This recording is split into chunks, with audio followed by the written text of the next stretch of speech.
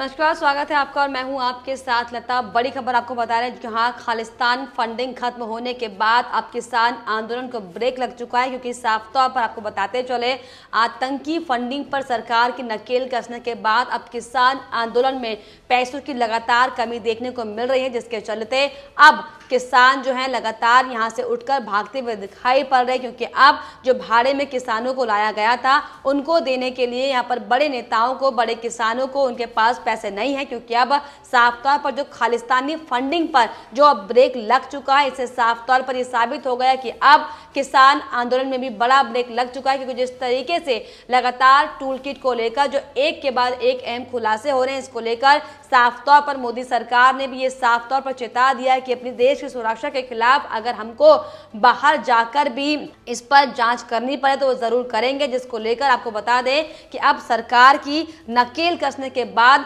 अब जो आतंकी, जो फंडिंग लगातार अब तक की जा रही थी धरने प्रदर्शन को बढ़ावा देने के लिए और देश को तोड़ने के लिए, वो अब पूरी तरीके से खत्म हो चुका है, जिसकी बानगी अब इस तरीके से दिखाई पड़े कि चाहे बात करें हम गाजीपुर बॉर्डर की, चाहे हम बात करें सिंघू बॉर्डर की, लगातार अब जगह जगह से किसान अपने घर को वापस लौटते हुए दिखाई पड़ रहे तो वाकई एक बहुत बड़ी खबर है क्योंकि जिस तरीके से लगातार अब तक किसान आंदोलन की आड़ पर, जिस तरीके से एक के बाद एक जो हिंसा भारत में की गई, वो वाकई बेहद शर्मनाक थी। लेकिन अब जब सारी कड़ियाँ खुलकर सामने आ चुकी हैं, जब तमाम तरह के सबूत टूलकिट में लिखे जो तमाम बातें थी, उनका ज़िक्र अब सबके सामने आ चुका है। इसको लेकर अब साफ़ तौर पर जो किसानों का आंदोलन है, वो पूरी तरीके से सुपर फ्लॉप हो चुका है। और साथ ही साथ आपको बताते चले कि आपको बता दें कि दिल्ली किसान आंदोलन की भीड़ भाड़े पर बुलाई गई थी, जिसे पाकिस्तानी खुफिया एजेंसी, आईएसआई और खालिस्तानी आतंकियों ने फंडिंग किया था। टूलकिट से इसका खुलासा साफ़ तौर पर हो चुका है।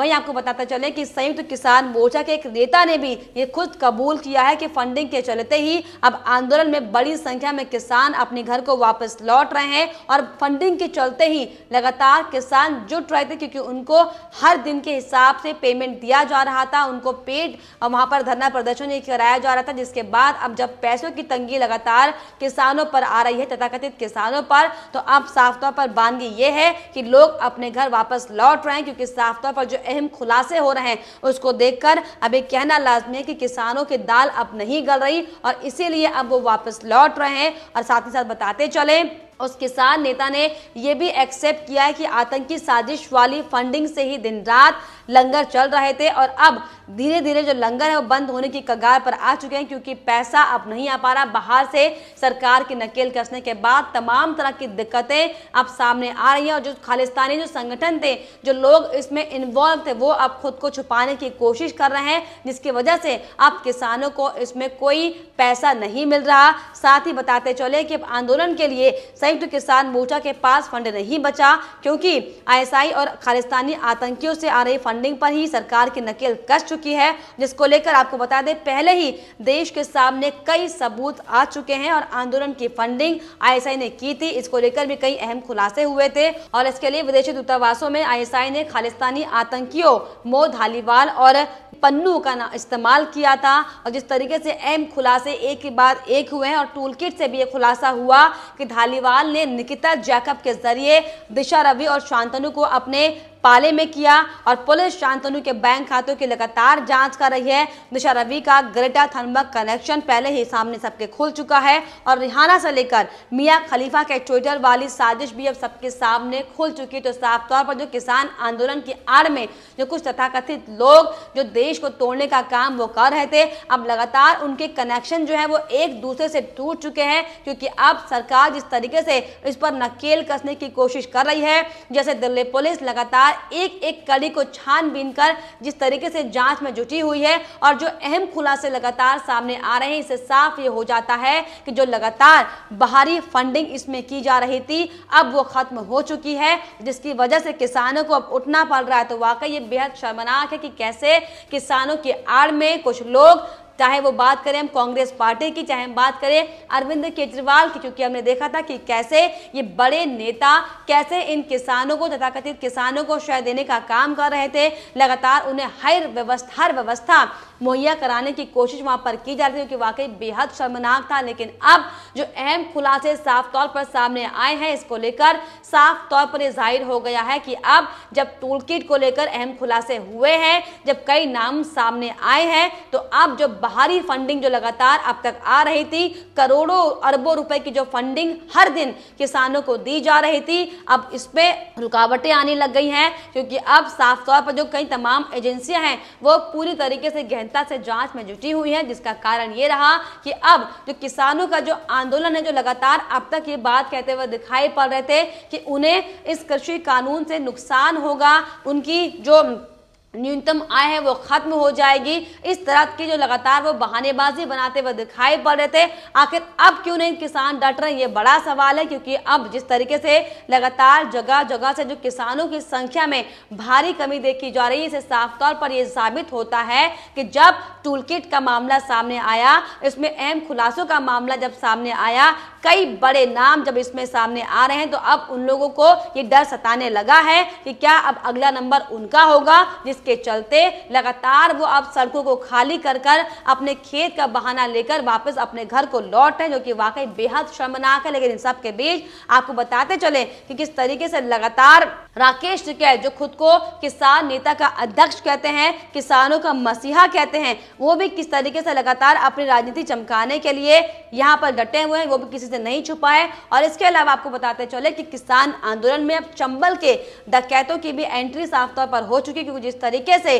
आंदोलन के लठैत अब डकैत बनकर पुलिस को बंधक बनाने की जो साजिश रच रहे थे, हरियाणा के हिसार में किसान महापंचायत यहाँ पर की गई थी। और इस दौरान इसमें कैसे गुरनाम सिंह चडूनी ने कैसे अपने किसानों को ये सिखाया कि अब जो अगला पड़ाव है, वो किसानों को बंधक बनाने का है। देखिए कैसे किसानों को भड़काया और दिल्ली पुलिस के जवानों को बंधक बनाने की यहाँ पर प्लानिंग गुरनाम सिंह चडूनी कर रहे हैं, जो कि वाकई बेहद शर्मनाक है। और यही नहीं, आपको बताते चले कि चडूनी यहीं पर नहीं रुके। उन्होंने ये भी कहा कि बंधक पुलिस वालों को तब तक नहीं छोड़े जब तक स्थानीय प्रशासन वहाँ ना पहुँच जाए और जब घुटने के बल बैठकर मिन्नतें करे, तभी पुलिस वालों को छोड़ें। टूलकिट का भंडाफोड़ होने के बाद अब लगातार चढ़ूनी जैसे फर्जी किसान अब अपने असली रूप में आने को तैयार होते दिखाई पड़ रहे हैं। अब खालिस्तानी जो जुबा है वो लगातार बोलने लग गए क्योंकि उन्हें पता है कि अब अगला नंबर उन्हीं का है, उन्हीं के सर पर अब गिरफ्तारी की तलवार लटक रही है और यही वो वजह है कि लगातार जिस तरीके से राकेश टिकैत, चाहे गुरनाम सिंह चढ़ूनी हो चाहे अन्य नेताओं, किसान नेता जो खुद को बोलते हैं, उनको ये साफ़ पता चल चुका है कि अब जिस तरीके से टूल का जो अहम खुलासा हुआ है, इस पर कई ऐसे नाम, जिस तरीके से हमने आपको बताया था कि दीप सिद्धू ने भी कई ऐसे अहम किसानों के नाम लिए थे, जिनका नाम अभी सामने आना बाकी है, लेकिन फिर भी लगातार जो दीप सिद्धू से पूछताछ की जा रही है, दिशा रवि से पूछताछ की जा रही है, इसको लेकर कई ऐसे अहम खुलासे सामने आए हैं, जो लगातार मो धालीवाल के साथ मिलकर पीजीएफ संगठन के कई आतंकियों के साथ मिलकर भारत को तोड़ने का लगातार काम कर रहे थे। और इसी कड़ी में ये बानगी इसकी ये रही कि अब बाहर से फंडिंग आना बंद हो चुका है, जो कि वाकई बहुत बड़ा तमाचा है। अरविंद केजरीवाल के मुँह में, राहुल गांधी के मुँह में, क्योंकि जिस तरीके से लगातार वो अब भी दिशा रवि का बचाव करते दिखा दिखाई पड़ रहे हैं। जहाँ पर एक और वहाँ वो देश की संप्रभुता की बात करते हैं। लेकिन अब जब देश को तोड़ने वालों का नाम सबके सामने आ चुका है, देश के खिलाफ साजिश करने वालों का नाम सबके सामने आ चुका है तो अब वो अलग तरीके से लोकतंत्र की हत्या बताकर उनका बचाव लगातार करने की कोशिश कर रहे हैं, जो कि वाकई बेहद शर्मनाक है। लेकिन इसी सब के बीच बड़ी बात यहाँ पर यह है कि किस तरीके से लगातार आज बयासी दिन से ज़्यादा का समय हो चुका है। किसान आंदोलन को लेकर लगभग ढाई महीने का वक्त हो चुका है और ढाई महीने बाद जो अहम खुलासे इसको लेकर सामने आए, ये वाकई बेहद शर्मनाक है कि देश को अन्नदाता, जिसे हम किसान कहते हैं, उनकी आड़ में कुछ ऐसे गुंडे छुपे हुए हैं जो बाहरी शक्तियों के साथ मिलकर देश को बर्बाद करने में तुले हुए हैं। हालाँकि खुद को वो किसान बताते हैं, लेकिन जो तस्वीरें सामने आ रही हैं कि कैसे भाड़े के किसान बनाकर यहाँ पर धरना प्रदर्शन करने के लिए लाया गया था, कैसे ट्रैक्टर ट्रॉलियों में 20 20 25 25 हज़ार रुपए लीटर का तेल तेल भरवाया जा रहा था। क्या वाकई किसान इतना आधुनिक है? क्या वाकई किसानों के पास इतनी धन संपत्ति है कि वो अपने खेत को छोड़कर हर दिन ट्रैक्टर, ट्रॉली में 20 20 25 25 हज़ार रुपए लीटर का तेल भरवा कर आ रहा है।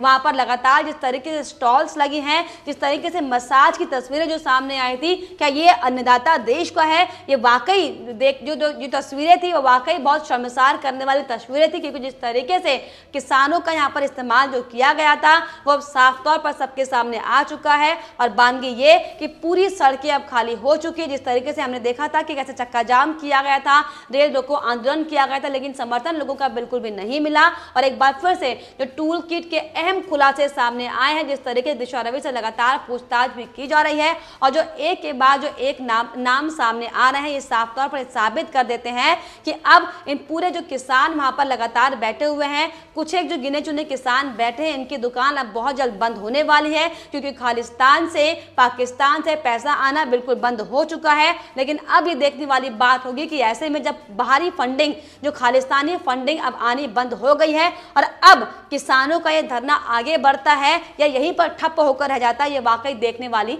बात होगी। फ़िलहाल इस पर आपकी क्या कुछ राय है, हमें कमेंट बॉक्स में ज़रूर लिखिएगा, साथ ही साथ चैनल को सब्सक्राइब करना भी ना भूलें।